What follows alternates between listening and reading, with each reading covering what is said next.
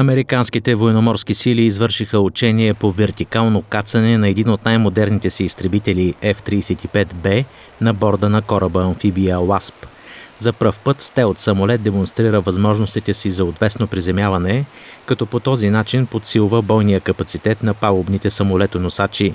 Учението се проведе в международни води, близо до японският остров Окинава. Освен това, изтребители F-35B излитаха от палубата на ЛАСП от по-късо разстояние, отколкото предшествениците им.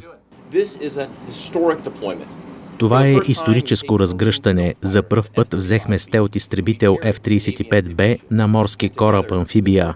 Заедно този комплект представлява най-значителния скок в бойните способности на нашата армия.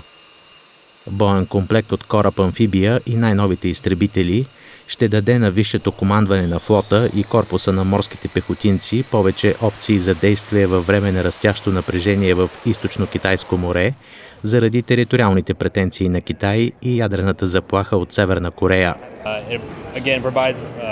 Дава ни възможност да разгръщаме по-лесно нашите бойни кораби. Можем да вземем по-стари като клас кораби и да ги приспособим за кацане на F-35B.